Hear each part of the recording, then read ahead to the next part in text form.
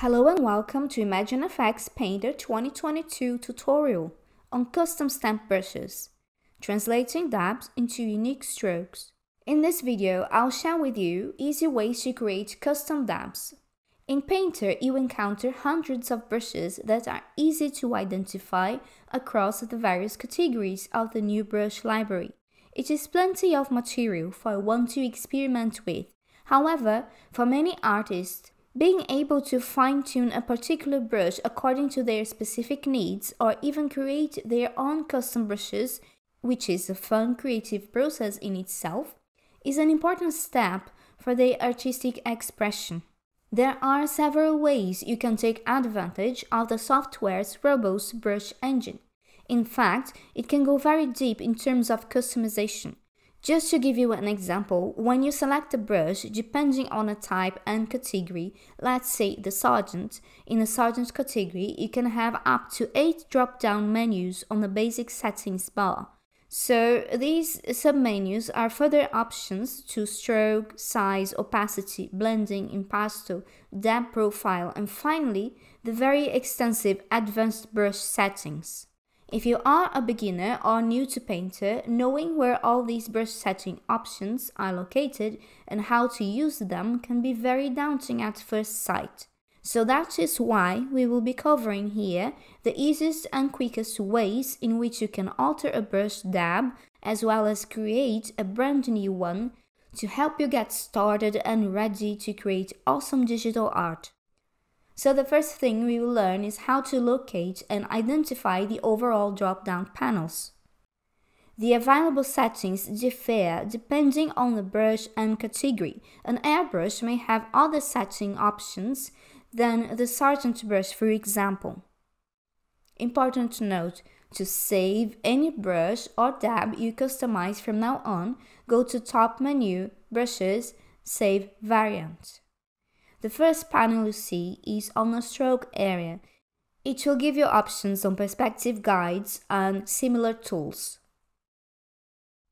Then we come to size, which is often underestimated and less known set of functions for dab customization.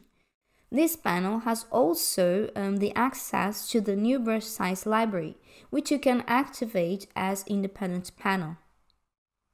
Then we have the opacity panel, the blending panel, which is a whole lot of functions for the blendability of your brushes.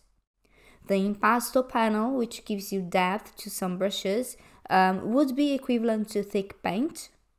From there on, you can activate the dab stencil panel, which opens as part of the advanced brush controls. So we continue and we have the dab profile panel then the new capture dab panel, and last the advanced brush settings which we just talked about, gathering all the functions into one place plus some. We are going to explore further three panels that allow you to quickly and easily customize your brush and dabs. So let's take a closer look at size. Using the submenu, you have several options that can change the appearance of your dab and expression of your brushstroke in surprising ways, much beyond the size label. That includes making it look more jittery or a stroke varying in thickness according to the selected expression. When you click on Expression, another drop-down menu appears with several options. By default, the brush is set to pressure. Notice that not all options may give you a result depending on the brush you are working with. This means you will need to try each every time you switch tool to see what's possible.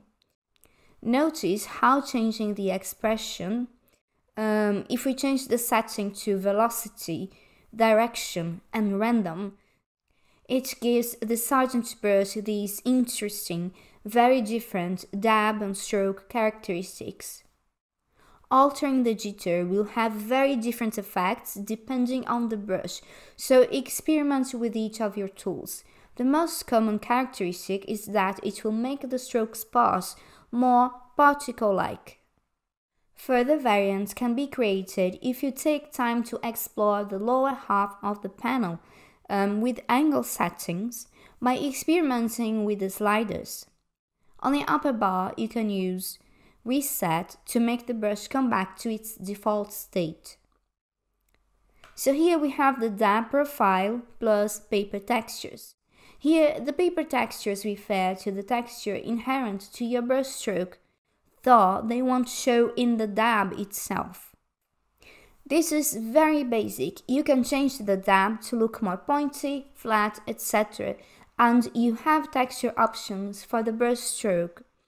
These can be combined with the other settings in the upper bar or other panels.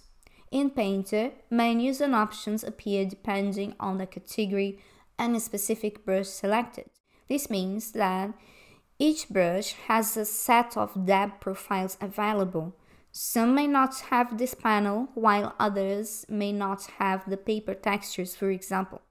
Depending on a brush, the dab profile may not cause um, much change visually, which is the case of the Sargent brush, for example, while on other tools the effect can be very drastic.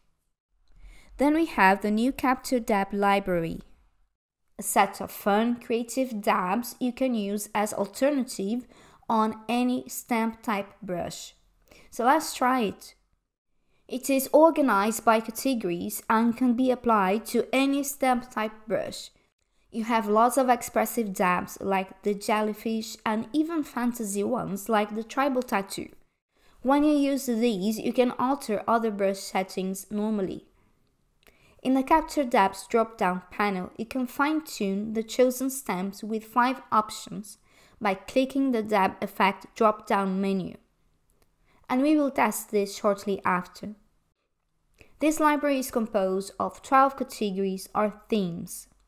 After a while, you may notice that these capture dabs may have stronger effects or appearance in some brushes than others. Now, I will show you how to create your own custom dabs you can experiment creating icons, shapes, or even texts to transform them into brush dabs. You can save them as JPG or PNG and import them into the library. Painter also supports importing Photoshop stamps, so you don't need to make a set of dabs for each software. When we click the last icon down right, the panel expands with new options. From left to right, we have Manage Libraries, um, where, as the name suggests, you can better organize your custom dabs. Then we have Import Capture Dab, and the last icon is a drop down menu where you can rename a dab, set custom icon, etc. I created an ImagineFX logo dab by simply exporting a PNG and importing it by clicking on Import Capture Dab icon on the expanded panel. JPG is also accepted. You can import Photoshop Dab's ABR in the same manner. So here we test the ImagineFX Capture Dab using different dab effects, such as feather, blur, and threshold. Notice how just by applying these, you can also give some interesting variations to the appearance of your custom dab. There are still many ways and options to create your perfect custom brush and dab, but these easy ways we have explored here will get you started. There you are. I hope this video has been helpful to you. My last tip for you is a personal advice. Find a balance. Creating brushes and dabs is super fun, but remember, keep studying and practicing the fundamentals this way, your artistic power truly shines when you apply your knowledge to your personalized tools. ImagineFX magazine and I thank you for watching. Please visit creativebloq.com slash ImagineFX for more inspiring articles and videos and of course, buy your copies of ImagineFX at the newsstand or at a web shop. Bye bye!